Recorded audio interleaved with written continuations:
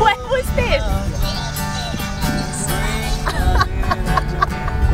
At the dad's place the other night, ah. Kayvon was performing, yeah. and then everyone grabbed him and Kayvon, and we were just like. And then we finally got out, like five hours later, and half hours to get our food and it was cold. Did you come tonight? Oh, I was, it was too, it was just like just give it to us, eat it and go.